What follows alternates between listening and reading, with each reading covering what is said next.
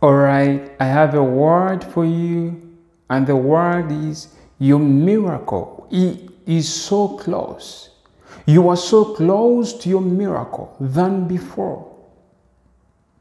No matter what situation you are going through, you may have hit a dead end, but God is about to rise you up. The lawyers, your lawyers, may have said that the case has been lost.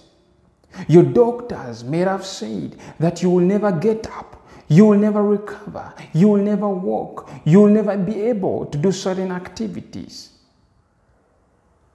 They may have said that some of your organs are about are failing.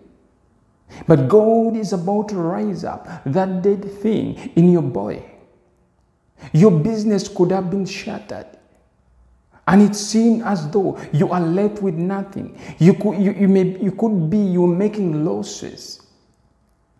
You could have just been fired from work. Or you are looking for a job. And you do not know which company you should apply for. But God is about to give you a miracle. In the scripture, the wife of Abraham Sarah was barren. It had taken her long and she had no kid. She had no children. In, an, in, in her old age, she thought it was impossible. But God provided for a miracle. Hannah was barren. While she was mocked by Peninnah, she kept on believing in God. She kept on praying to God. But God rescued her. God opened up her womb. She had her first son, and the son that she had was a prophet. Not just a mere prophet, but a prophet of nations. This man, Samuel, Prophet Samuel, anointed kings. He anointed the first king of Israel, that was Saul. He anointed David. You are about to give birth to something that is good.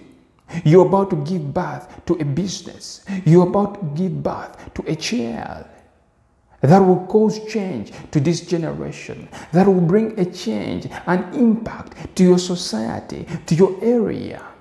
God is about to lift you up. Nothing is impossible for God.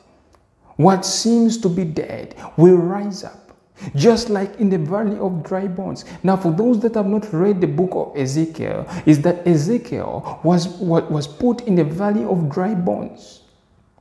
And God asked, asked, asked Ezekiel, Son of man, can these bones live again?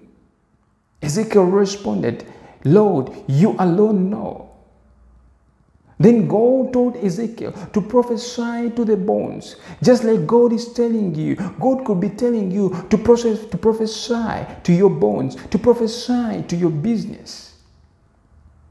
Now, when Ezekiel prophesied to the bones, the bones began to move from limb, from one part to another. There was life in the bones. There will be life in those dead things that you thought they were dead. You have ideas that you thought they were dead, that you, have, you had even buried, that you thought that they are impossible to come, but they are about to come to life. There's another scripture where Jesus was in, an, was in, in a certain area and news came to him that his friend, the one he loved, was sick. Then, after some time, uh, Jesus told the people who had brought the news that Lazarus is asleep. Now, what Jesus was saying that Lazarus is dead. So it reached a time that Jesus had to come back to the place where Lazarus had died. So when Jesus arrived, uh, the people around him uh, said, Master, if you had been around, Lazarus would not have died. But Jesus told, continue, went on ahead to tell them, He is asleep. He will rise again. So, to cut the long story short, is that Jesus goes to the tomb of Lazarus. And what is amazing, that the body of Lazarus had begun to decompose. It had begun to emit a smell, a bad smell.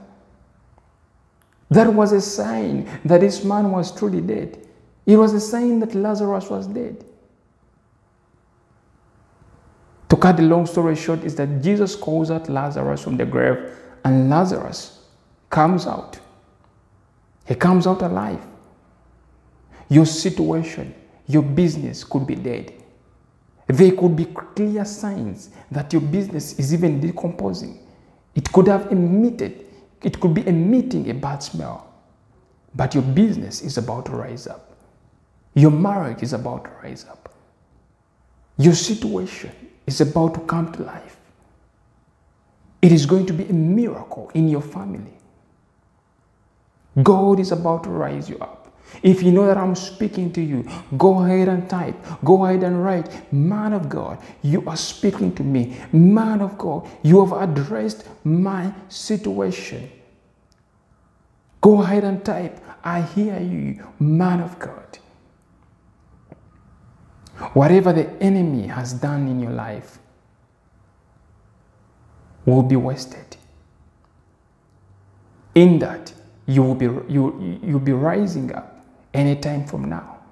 You're about to rise up. Some of you are rising up. Some of you are rising up.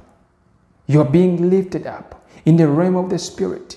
You are being lifted up. You are, you, you, you are being lifted up to places that are high, to places that your adversaries will not reach to places of significance, to places of importance, to places that the world will see you.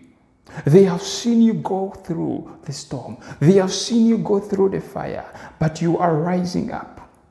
You have come up. You have been tested, and you will be recognized. I hope this word has been a blessing to you.